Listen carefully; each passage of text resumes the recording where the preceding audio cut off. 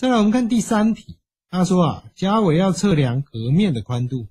于是呢，他站在河岸边的 A 点上，哦，A 点在这边，目光呢跟河岸垂直，哦，所以这里是垂直，面朝对岸啊，选定了一个大石头，哦，这里有一个大石头当标记作为 B 点，然后呢，他沿着河岸啊往下游走，哦，这个下游走，走了二十公尺以后啊，标定一个点 C，哦。接着呢，他又走了五公尺，哦，所以这一段是五公尺，然后标定了一个点 D，然后他从 D 点啊垂直河岸朝离开河的方向走了四公尺，所以这一段是四公尺。这个时候标定为一点，然后这个时候一啊从一看过去哦，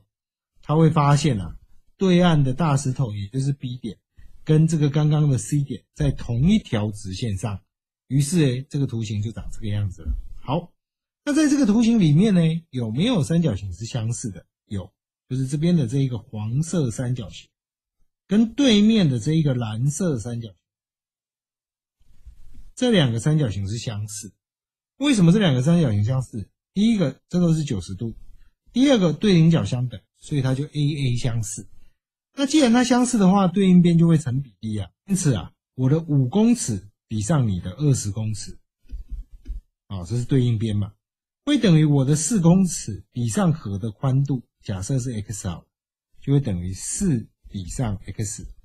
那这时候内向乘内向等于外向乘外向，所以八十就会等于五 x，除过去啊，x 就会等于十六。那这一道题目呢，我们就完成。那你会发现题目这么长哇，做起来小小一段而已，它非常的简单。这其实啊，遇到越长的题目呢，你不需要担心，因为它给我们的讯息就越多，我们处理起来其实相对的简单。